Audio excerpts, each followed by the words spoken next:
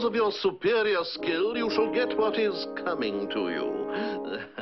Our royal congratulations. Oh, thank you kindly, Your Highness. Meeting you face to face, Your and Mighty, is a real treat. Release the royal fingers. Ah.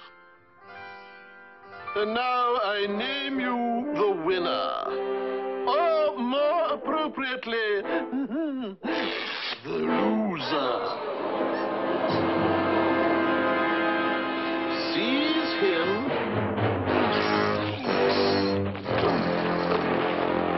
I sentence you to sudden, instant, and even immediate death.